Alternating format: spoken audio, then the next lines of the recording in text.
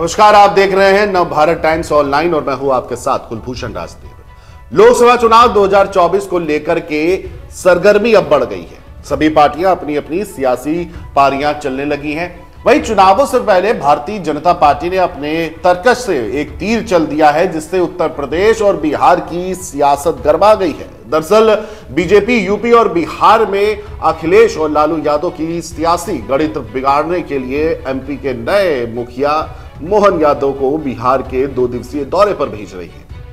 बिहार से यादवों को साधने की बीजेपी की यह रणनीति न सिर्फ़ बिहार, बल्कि यूपी तक भी पहुंचेगी। फ़िलहाल यादवों के वोट से सरकार की दशा और दिशा तय होने वाले राज्यों में मध्य प्रदेश के मुख्यमंत्री मोहन यादव के पहुँचने से सियासी तपिश अब बढ़ चुकी है।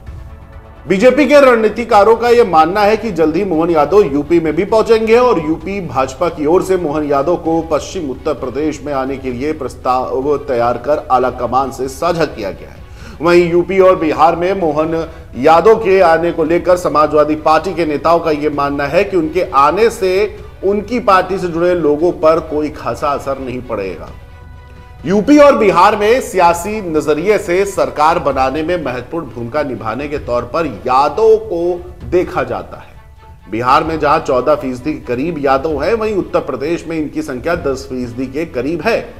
और इसी जातिगत और सियासी आंकड़ों को नज़र में रखते हुए भाजपा ने मुख्यमंत्री मोहन यादव को बिहार से सियासी समीकरण साधने की कमान सौंपी है। मोहन यादव 18 और 19 जनवरी को बिहार के दौरे पर रहेंगे। जानकारी के मुताबिक इस दौरान वह कृष्ण चेतना मंच की ओर से एक कार्यक्रम में शिरकत करेंगे और कृष्ण चेतना मंच के सह सचिव रहे दीपक यादव ये कहते हैं कि इस कार्यक्रम में यादव समुदाय से जुड़े सभी लोग शिरकत करने पहुँच रहे हैं।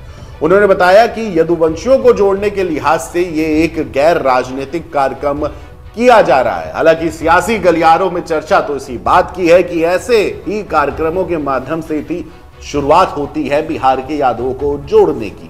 कहने को गैर राजनीति हो, लेकिन जब कोई राजनीति शख्स पहुँचता है इस तरह के कार्यक्रमों में तो वो राजनीतिक हो ही जाता है।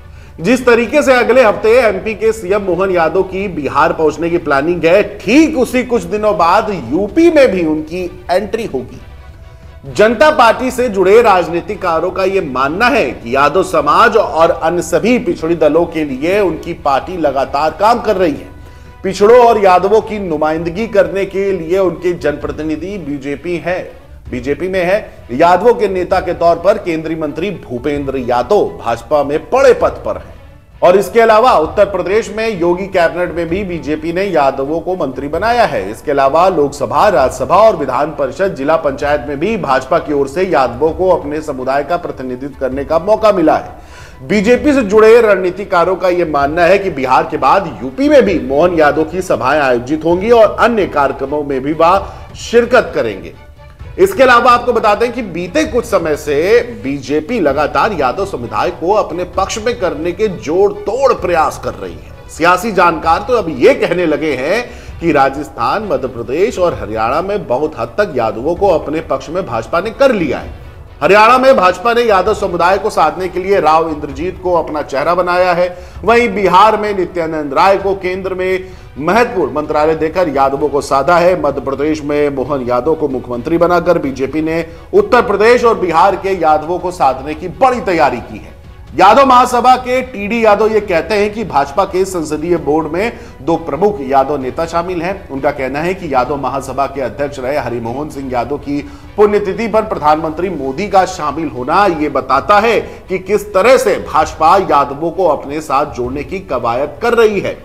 उत्तर प्रदेश भाजपा ने बिहार के बाद पश्चिमी उत्तर प्रदेश में मोहन यादव के कार्यक्रमों की योजना बना ली है। यूपी भाजपा से जुड़े एक वरिष्ठ पदाधिकारी ये बताते हैं कि इसके ज़रिए उन्होंने आला कमान से पश्चिमी उत्तर प्रदेश में यादवों के कार्यक्रमों की शुरुआत करने की बात कही है। यूपी और बिहार में मोहन यादव को आने को लेकर के सपा के नेताओं का यह मानना है कि उनके आने से समाजवादी पार्टी के वोट बैंक पर कोई असर नहीं पड़ने वाला है। सपा के राष्ट्रीय प्रवक्ता और पूर्व मंत्री राजेंद्र चौधरी ये कहते हैं कि उनके दल के साथ जो लोग जुड़े हैं, वह हमेशा उनके साथ ही आगे रहेंगे।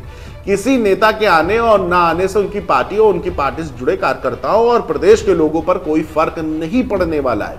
अब सवाल यह है कि एक तरफ़ यादव सभा जो है, यादव महासभा है या यादव समुदाय जो है, वो मोहन यादव के कार्यक्रमों को लेकर के ये कह रही है कि ये गैर राजनीतिक है। लेकिन सबसे बड़ा बात यही होती है कि अगर कोई भी राजनीतिक व्यक्ति किसी कार्यक्रम में जाता है तो उसको राजनीतिक चोला पहना दिया जाता है। और सवाल जब जाति का जुड़ा हो तो ये कोई गलत नहीं होगा कहने का कि भारतीय जनता पार्टी जो है, वो उत्तर प्रदेश और बिहार में यादवों को अपने पक्ष में साधने की पुरजोर कोशिश कर रही है। फ़िलहाल अभी के लिए इतना ही। देश दुनिया की तमाम बड़ी खबरों के लिए जुड़े रहिए नवभारत टाइम्स के साथ। नमस्कार।